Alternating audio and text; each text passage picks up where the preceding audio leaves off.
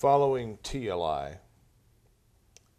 how quickly did the Earth recede out the window?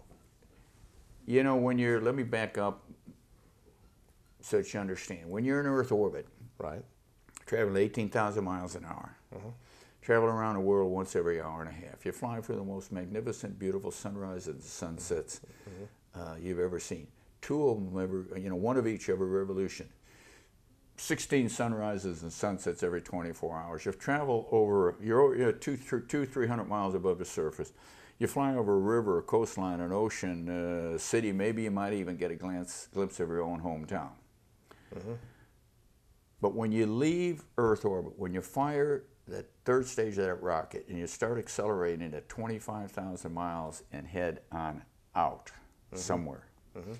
it's a different space program. It's a different space program technologically, it's a different space program uh, philosophically, and it's a different space program spiritually.